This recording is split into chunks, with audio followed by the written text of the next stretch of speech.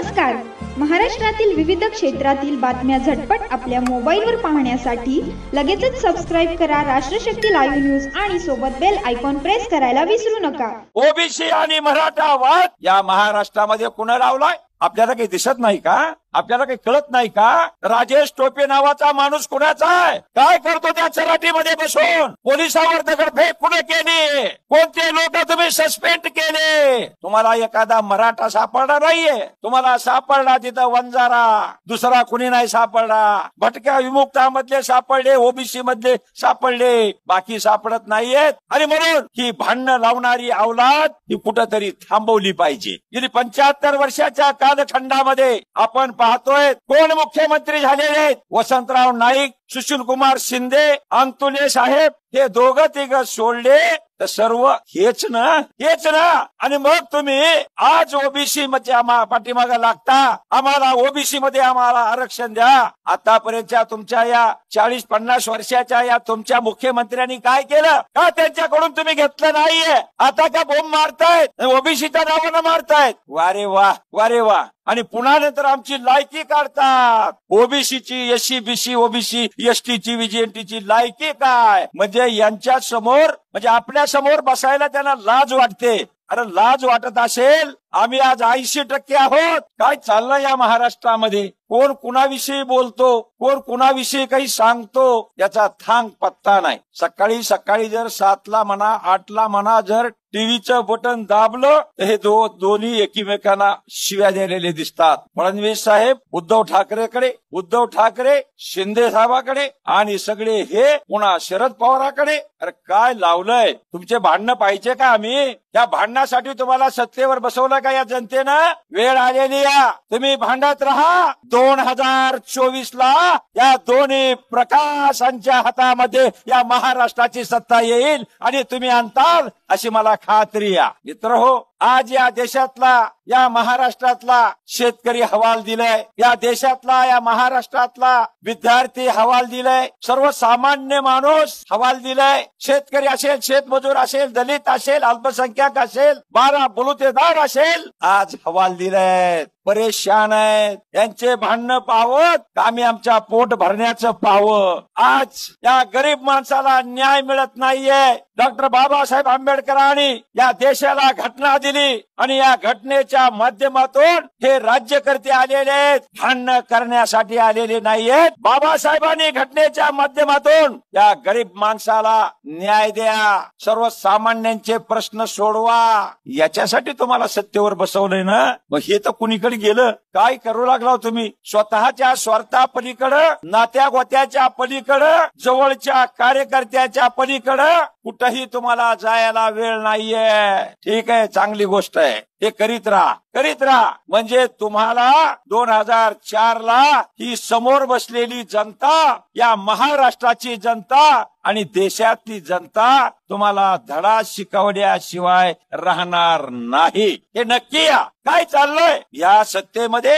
महाराष्ट्राच्या भांडणं लावायचं काम. ओबीसी मध्ये मराठा समाजामध्ये बारा बलुतेदारामध्ये एससी मध्ये ही भांडणं लावल्याशिवाय तुम्हाला सत्ता हस्तगत करता येत नाहीये. पण आता आम्ही फार हुशार झालो. आम्ही आता हुशार झालो की तुम्ही हे भांडणं आमचे लावता आणि आपली पोळी भाजून घेता. परंतु मित्र हो ओबीसी आणि मराठा वाद या महाराष्ट्रामध्ये कुणा लावलाय? आपल्याला काही दिसत नाही का? आपल्याला काही कळत नाही का? राजेश टोपे नावाचा माणूस कुणाचा आहे? काय करतो त्या चराटीमध्ये बसून? पोलिसावर दगडफेक कुणी केली? कोणते लोक तुम्ही सस्पेंड केले? तुम्हाला एखादा मराठा सापडला नाहीये. तुम्हाला सापडला तिथं वंजारा. दुसरा कुणी नाही सापडला. भटक्या विमुक्तामधले सापडले ओबीसी मधले सापडले. बाकी सापडत नाहीयेत. आणि म्हणून ही भांडणं लावणारी अवलाद ही कुठंतरी थांबवली पाहिजे. गेली पंच्याहत्तर वर्षाच्या कालखंडामध्ये आपण पाहतोय. कोण मुख्यमंत्री झालेले आहेत? वसंतराव नाईक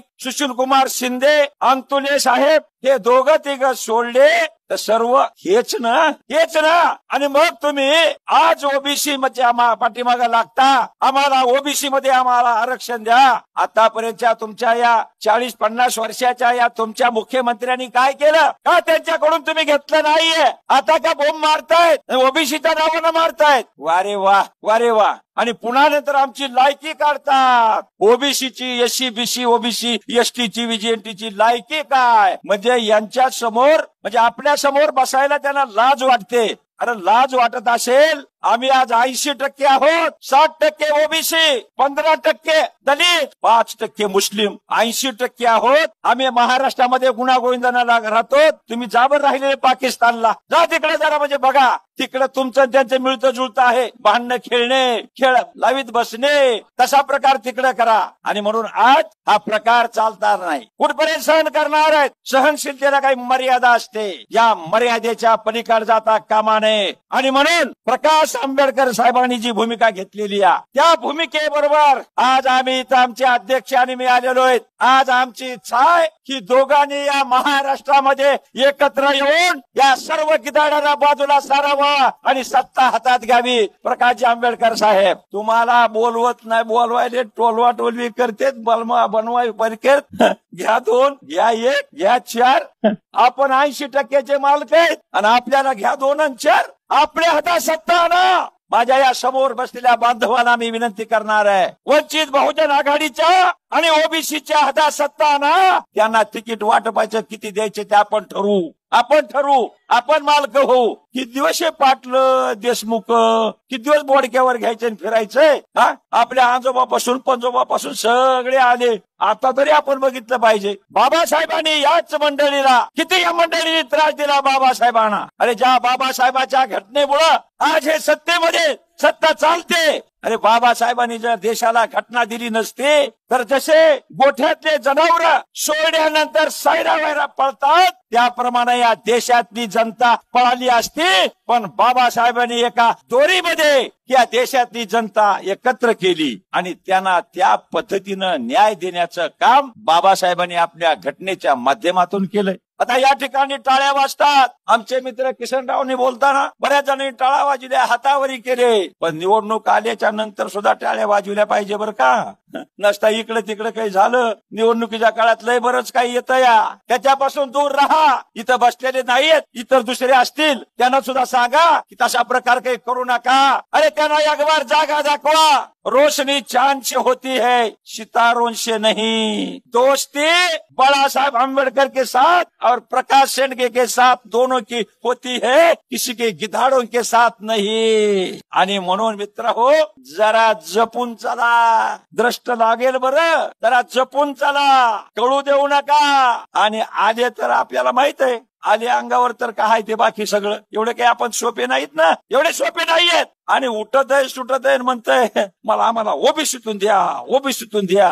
जणू का ह्याच्या बापानं ओबीसी ठेवलेली अरे ओबीसी आम्हाला डॉक्टर बाबासाहेब आंबेडकरांनी तीनशे चाळीसव्या कलमा आधारे आम्हाला दिली या काल तीनशे चाळीसव्या कलमा आधारे दिली एवढं ओबीसीवर प्रेम बाबासाहेबांनी केलेलं आहे. एवढं बाबासाहेबांनी केलेलं आहे. नंतर तीनशे एक्केचाळीस नंतर तीनशे बेचाळीस असे कलम झाले. म्हणून ओबीसी वाल्यानो एससी व्हीजीएनटी एसटी या सर्व या माझ्या बांधवानो एकजुटीनं राहा. एवढंच या निमित्तानं सांगतो कारण लायकी असणारे लायकी नसणारे हे आता कळायला लागलेत पळायला लागलेत कुठं काय लायकी ते आणि म्हणून मला एवढंच सांगायचं आहे आपण जागे राहा. येणाऱ्या चोवीस तारखेला आपलं मनगट पक्क ठेवा.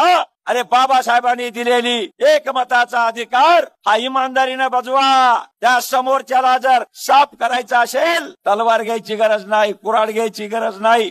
वैध सुद्धा नाही वैध सुद्धा नाही. बाबासाहेबांनी दिलेला एक मताचा जो अधिकार आहे तो इमानदारीने बजवा इमानदारीने बजवा. फक्त एवढीच मला आपल्याला विनंती करायची आणि या ठिकाणी बाळासाहेबांनी आम्हाला बोलवलं त्यांच्या सगळ्या टीमनं बोलवलं आमचा सत्कार केला. त्याबद्दल मी त्यांचे आभार व्यक्त करतो. आणि भविष्यामध्ये एवढंच नाही तर जेव्हा जेव्हा आम्ही मागच्यामध्ये सहा सात मेळाव्याला प्रकाशजी आंबेडकर साहेबांना आम्ही बरोबर होतो. दीड दीड दोन दोन लाखाचे मेळावे झाले. आणि त्या मेळाव्यामधून सगळ्या लोकांनी स्पष्ट सांगितलंय की तुम्ही एकत्र या.